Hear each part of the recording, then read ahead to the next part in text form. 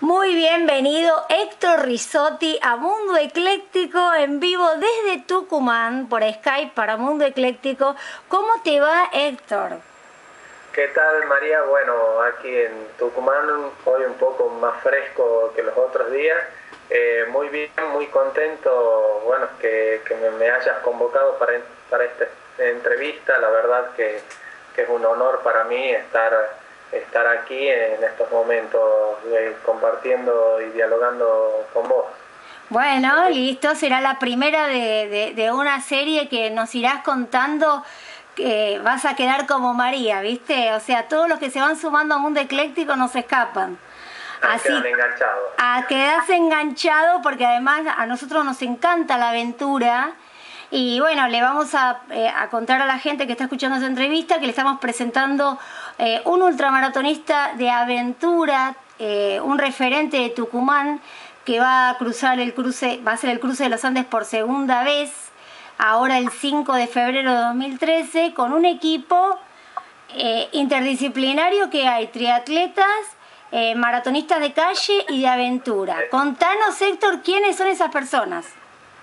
Bueno, este es, como vos bien comentás, es un equipo inter disciplinario en lo, que hace a, lo deportivo, al atletismo, donde tenemos dentro del equipo eh, personas que, por ejemplo, de, triatlón, como es este, Pancho Aparicio, que es el único clasificado del norte para el Mundial de Triatlón.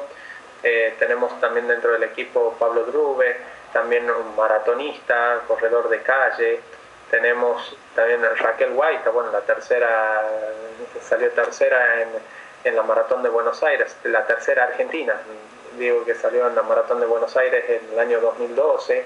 ¿Raquel va a eh, estar en, este equipo con vos? Perdón. Exactamente, exactamente. Raquel White también va a estar con nosotros.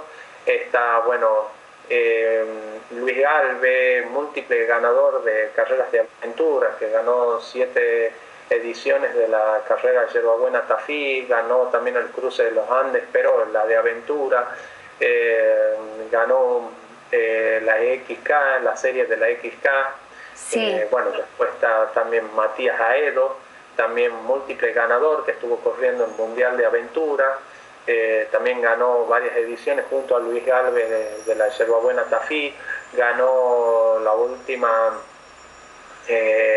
carrera de, de aventura, este, de conquista tu cumbre, ganó, o sea, estamos eh, frente a gente, la verdad que bastante de bastante buen nivel en lo deportivo, bueno, ganador del premio La Gaceta, eh, Matías Aedo como Raquel Guaita, este, entonces, y Juan Pablo Juárez, que recibió también la mención dentro del premio La Gaceta, son los premios a los mejores deportistas de la provincia.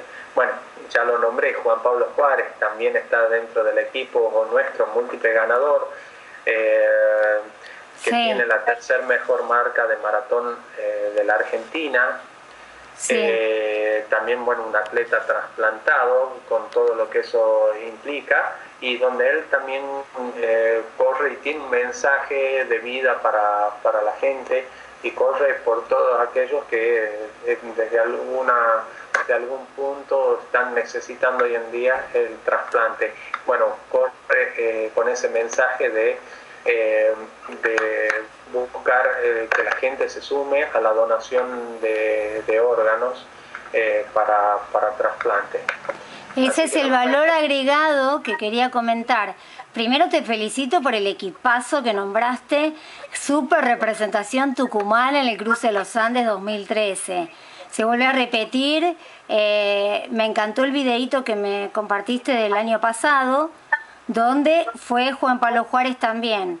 Y este año, además de eso, de Juan Pablo Juárez, que él es trasplantado de médula, como comentaste, y bueno, récords, eh, medallas, campeón, eh, vas a correr también con la bandera de espera por la vida del proyecto de María de los Ángeles Musumesi Miserandino. Así es, así es. Bueno, eh, también para mí, cuando eh, yo la vi a María en varias carreras y bueno, me, me, motivó, me movió eh, todo eso lo que ella estaba haciendo y bueno, me puse en contacto con ella me anoté como donante también y, y bueno, me dijo que yo me la mandé y yo le dije, para mí es un gran honor eh, llevar una bandera así por todo lo que significa. Eh, yo entiendo muchas veces esto las necesidades de la, gente, lo que pasa, o aquellos que están en algún problema de salud, que tengan que pasar por esta experiencia. Bueno, a mí me pasó, yo en, mi caso yo tuve un ACV, bueno, tuve una operación importante en el año 99 que me dejó varios meses en cama y bueno, poder salir, empezar todo desde cero y hoy en día estar corriendo, ¿qué más puedo decir? Entonces también eh, corro por esa gente, todos aquellos que no pueden o no pudieron tener la oportunidad que yo tengo hoy en día de estar de eh, pie vivo, entonces para mí es muy importante el poder hacerlo ¿no? y transmitir también ese mensaje.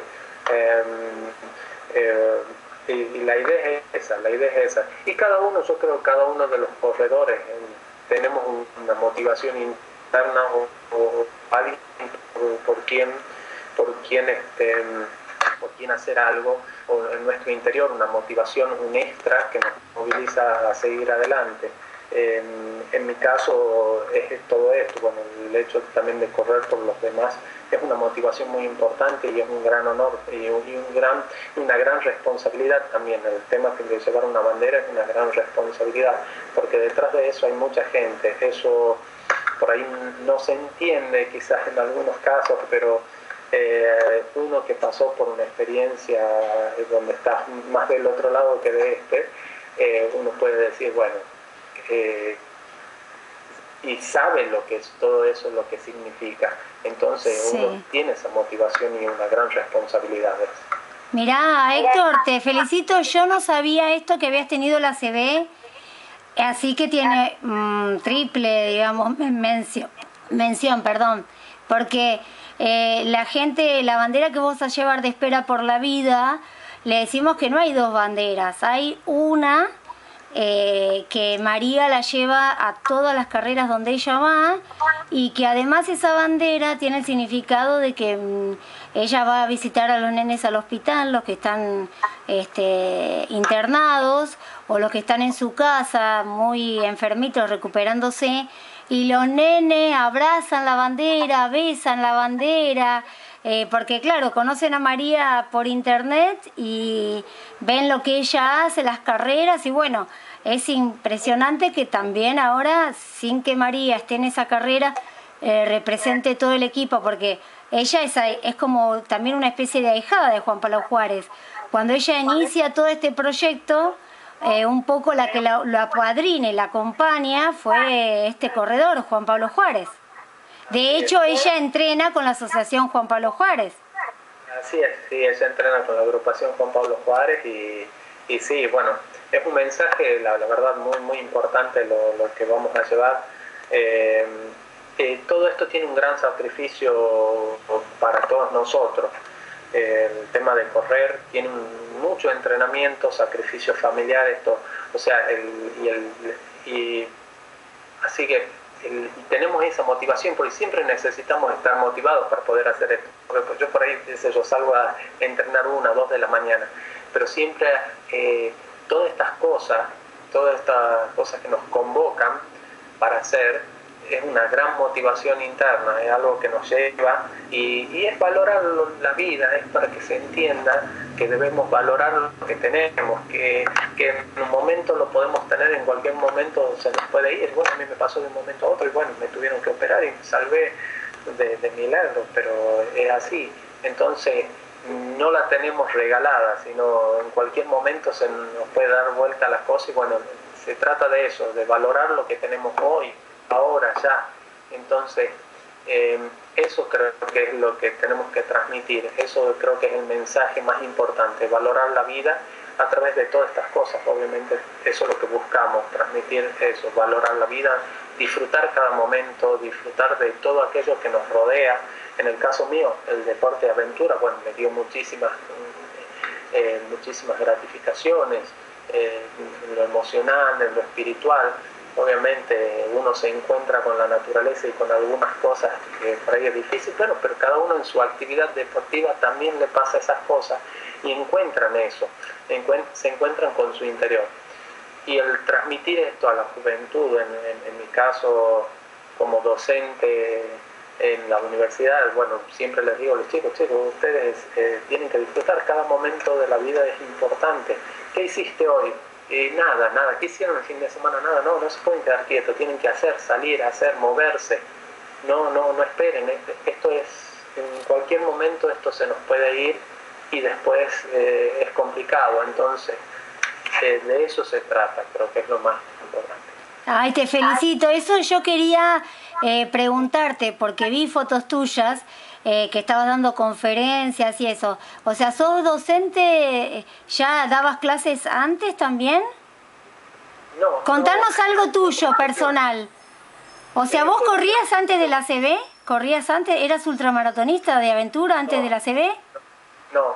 Ah. O sea, por eso empecé todo después. También fue una historia bastante interesante con un amigo, también tuvo una experiencia importante en su vida. Un día decidimos hacer un viaje en bici salimos desde, desde la casa.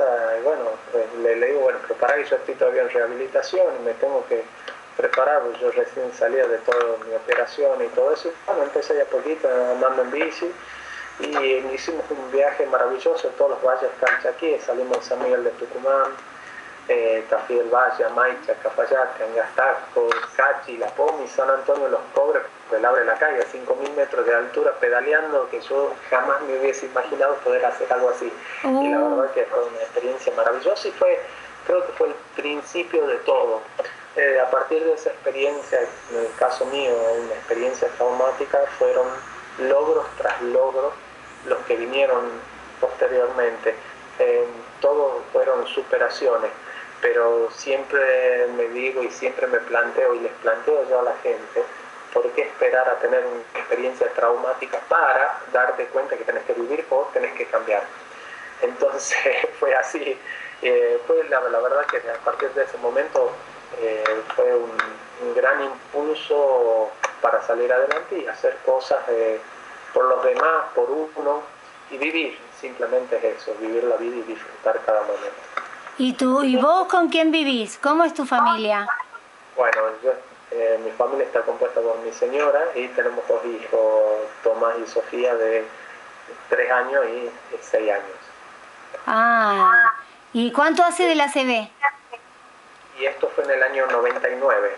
Por eso, eh, ah. yo estaba estudiando cuando me pasó, estaba en los últimos años de la facultad. Bueno, al final tuve que dejar dos años, después retomar y todo pero fue por eso eh, fue mucho sacrificio después, pero se salió adelante y bueno, y hoy en día estamos, eh, soy un agradecido a Dios de poder estar y poder estar compartiendo mi experiencia, transmitiendo, transmitiendo a otra gente y, poder portar una bandera.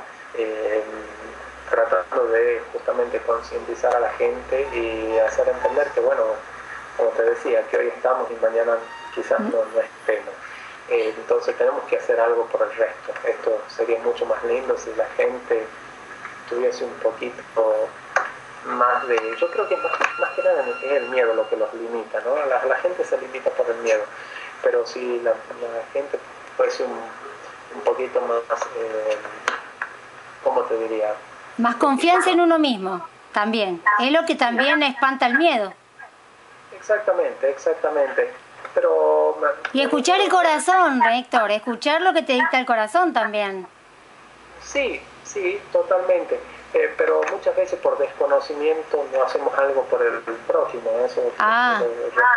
por desconocimiento no sabemos o quizás no queremos conocer y hay el miedo por ahí a conocer lo desconocido, que siempre es lo que nos está limitando, ¿no? El miedo a, a lo desconocido es lo que a vos te pone un freno y no te permite por ahí salir adelante. Y son las cosas que hay que encarar. A través de la actividad deportiva, a mí me permitió también superar muchos temores, son normales, pero poder superarlo y te das cuenta que después de... El mayor miedo, como creo yo, es el miedo a la muerte. Si lo podemos superar, todo lo demás es fácil, ya se supera y se llega fácilmente. Pero tenemos que superar eso, es el mayor temor que tenemos. Pero si no vivimos, nunca vamos a... O sea, el hecho de no vivir la vida es porque estamos con miedo en realidad también. Claro. Entonces es un freno, es algo que te está frenando y el poder superarlo es lo más importante. Em, bueno, eso es un poco mi experiencia, que yo, yo puedo transmitir desde, desde mi experiencia de vida. No, y además, bueno, vamos a tener más entrevistas donde vas a seguir compartiendo. En principio, eh, te deseamos lo mejor para este 5 de febrero con todo tu equipo, los que se sumen a, al cruce de los Andes, que sea todo un éxito. Yo después vi fotos del equipo. Vos tenés que agradecer a alguien, qué empresas te acompañan. ¿Querés contar un poquito de eso o...?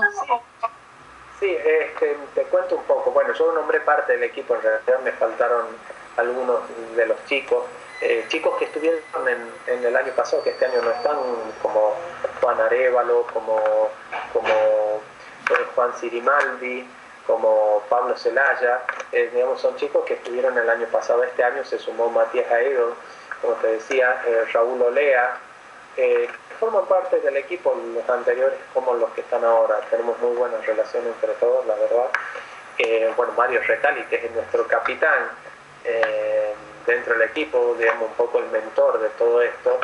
Eh, Mario Retali, bueno, no me quiero olvidar de ninguno, pero básicamente este es el equipo. Aldo Gordillo de Concepción también se sumó. Este, ¿Tiene un nombre el equipo? ¿El equipo tiene un nombre?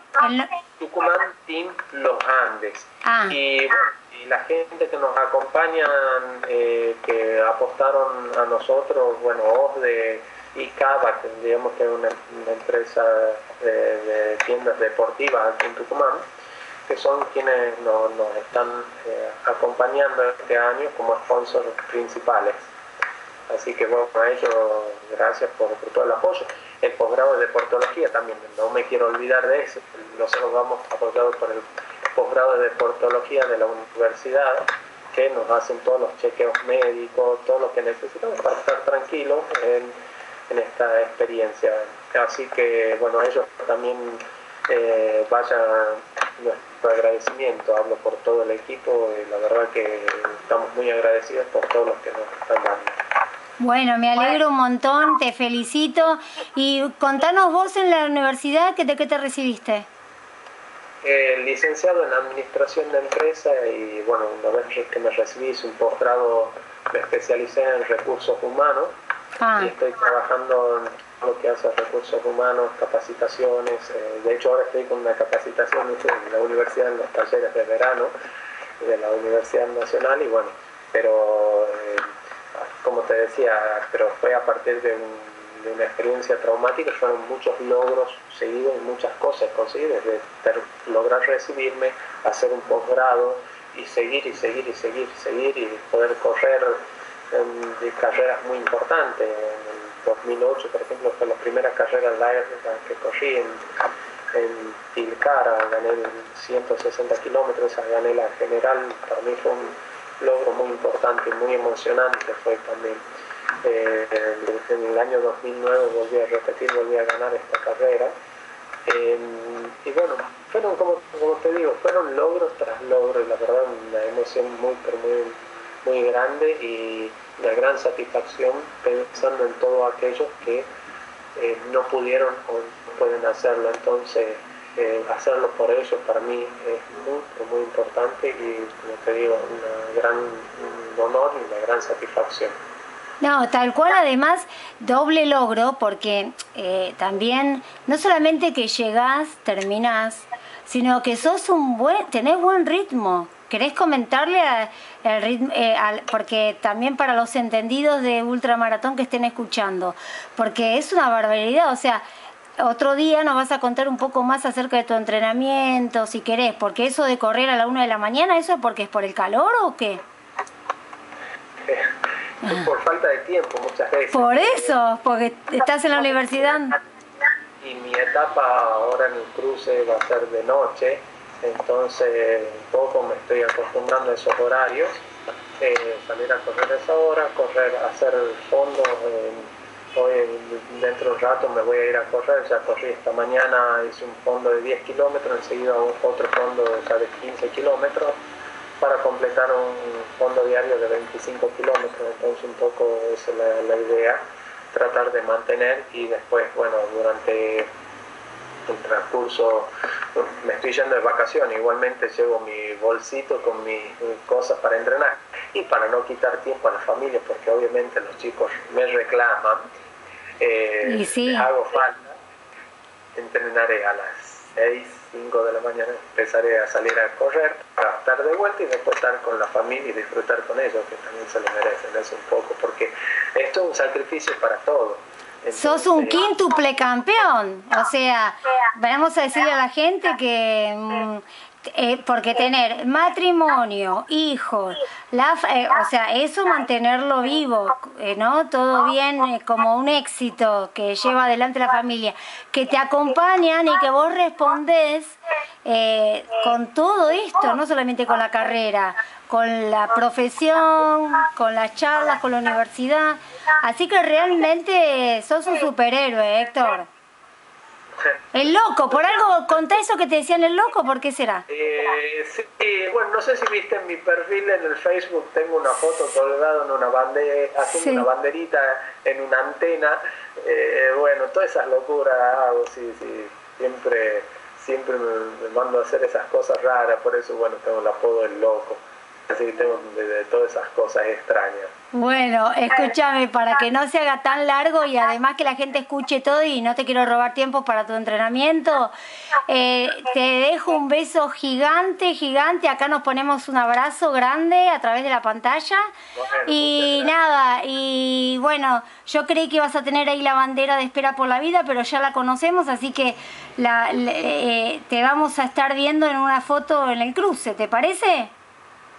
Totalmente, totalmente. Bueno, yo ahora eh, me estoy yendo unos días de vacaciones, voy a volver, me llevo la computadora, así cualquier cosa vamos a estar no, Claro, ahí está, ahí está, te con la bandera desde ahí, nos das cinco minutos antes de salir eh, en viaje a, a, la cordillera, nos saludás con la bandera de espera por la vida.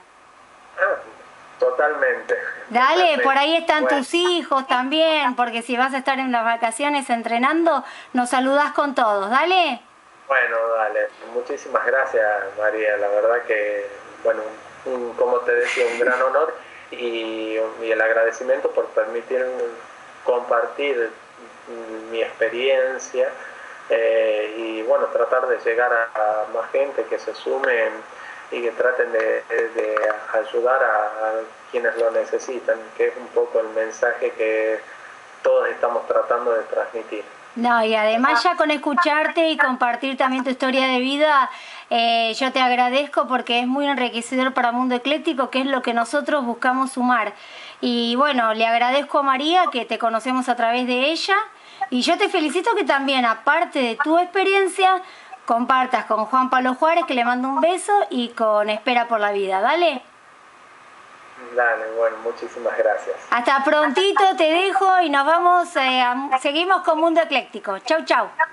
Chau, chau. Chau, chau.